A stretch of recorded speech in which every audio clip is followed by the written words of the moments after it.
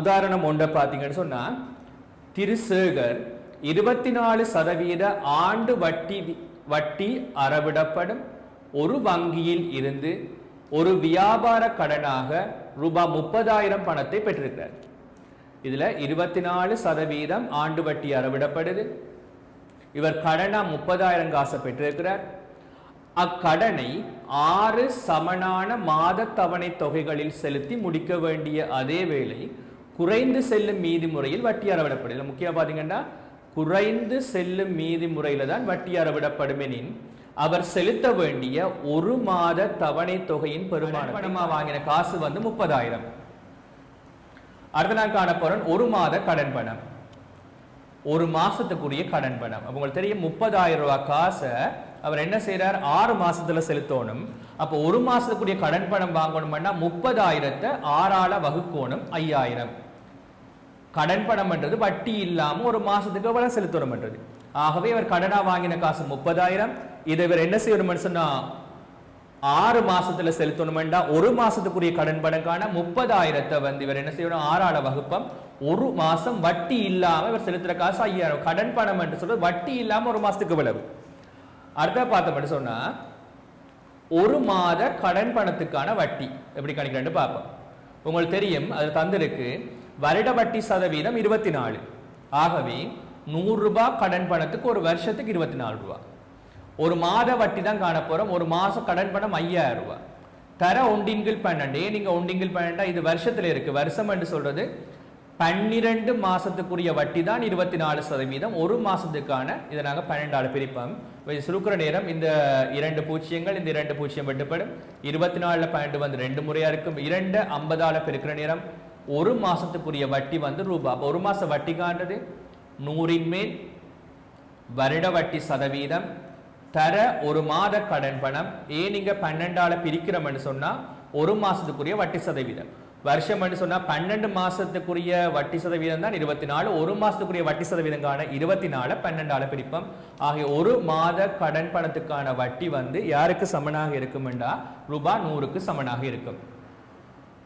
அடுத்த மாத அலகுகளின் எண்ணிக்கை. நான் சொன்னேன் மாத அலகுகளின் எண்ணிக்கைக்குரிய சமன்பாடு எண் தர எண் சக ஒன்றின் கீழ் ரெண்டுன்னு சொன்னான்.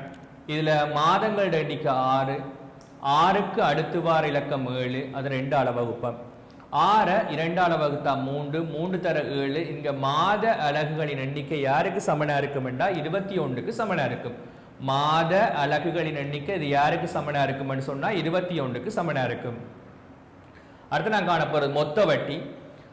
நான் இந்த மொத்த வட்டிக்கு ஒரு சமன்பாடு சொன்னேன். மொத்த வட்டி காண்றதுக்கு மாத அலகுகளின் எண்ணிக்கையை ஒரு மாத வட்டியால் பெருக்கணும். இங்க மாத அலகுகள் எண்ணிக்கை வந்து இருபத்தொண்டு ஒரு மாத வட்டி வந்து நூறு. அப்போ இந்த இருபத்தி ஒன்றை நாங்கள் நூறால் பெருக்கினா அவர் செலுத்த வேண்டிய மொத்த வட்டி வந்து ரெண்டாயிரத்தி நூறுக்கு சமனாக காணப்படும். அடுத்த செலுத்த வேண்டிய மொத்த பணம் பாருங்க செலுத்த வேண்டிய மொத்த பணம். அவர் கடனா வாங்கின காசு முப்பதாயிரம். அதுக்கு செலுத்த வேண்டிய மொத்த வட்டி வந்து ரெண்டாயிரத்தி நூறு. ஆகவே அவர் செலுத்த வேண்டிய மொத்த பணம் எவ்வளவு கேட்டால் முப்பத்தி ரெண்டாயிரத்தி நூறு. அடுத்து நான் காணப்படுறது தவணை கட்டணம். தவணை கட்டணம் காண இவ்வளவு காசையும் ஆறு மாசத்துக்கு சமனா பிரிச்சு கொடுக்கணும். ஆய் முப்பத்தி ரெண்டாயிரத்தி நூ நூறை வந்து ஆறாள வகுப்பம் ஐயாயிரத்தி முன்னூற்றி ஐம்பது. திருப்பி பார்த்து கொடுங்க இருக்கா? கடன் பணம் முப்பதாயிரம். ஒரு மாத கடன் பணங்கான முப்பதாயிரத்தை எத்தனை மாசத்துல கொடுக்கணுமோ அதால பிரிப்போம். முப்பதாயிரத்தை ஆறாள வகுப்பம் ஒரு மாசத்துக்குரிய கடன் பணம் ரூபாய் ஐயாயிரம். ஒரு மாத வட்டி நூறின் மேல் வருட வட்டி சதவீதம் இருபத்தி நாலு. ஒரு மாத கடன் பணம் ஐயாயிரம். மாதத்துக்கான பன்னெண்டால பிரிக்கணும். வருஷத்தை மாதத்துக்கு மாற்ற பன்னெண்டால பிரிக்கணும். ஒரு மாதத்துக்குரிய வட்டி வந்து நூறுரூபாயாக இருக்கும். மாத அலகுகளோட எண்ணிக்கை எண் தர எண்சக ஒண்டிங்கள் ரெண்டுன்னு சொன்னால் அதாவது முக்கோணம் எண்ணுக்குரிய சமன்பாடு. ஆறு மாதம் என்றா ஆறு தர ஏழின் கீழ் ரெண்டு.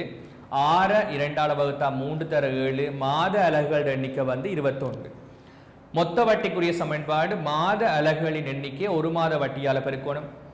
மாத அலகு இருபத்தொன்று ஒரு மாத வட்டி நூறு இருபத்தி ஒன்றை நாங்கள் நூறால பெருக்கினா செலுத்த வேண்டிய மொத்த வட்டி வந்து ரெண்டாயிரத்தி நூறு. அடுத்து செலுத்த வேண்டிய மொத்த பணம் கடனா வாங்கின காசு முப்பதாயிரம்.